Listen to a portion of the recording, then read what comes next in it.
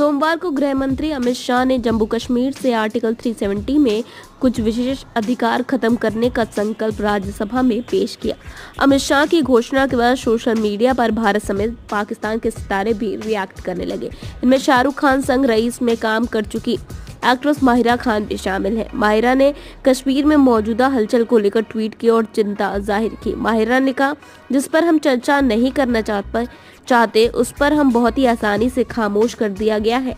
ये रेत पर लकीर खींचने की तरह है। जन्नत जल रही है और हम खामोशी से आँसू बहा रहे हैं।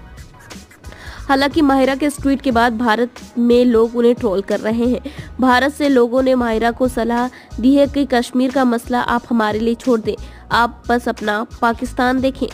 बताते चले कि माहिरा खान रणबीर कपूर की दोस्त भी हैं। रणबीर के साथ उनकी एक स्मोकिंग फ़ोटो के कारण माहिरा को सोशल मीडिया पर काफ़ी ट्रोल किया गया था। इस फ़ोटो के बाद ही पता चला कि माहिरा रणबीर कपूर के काफ़ी करीब हैं।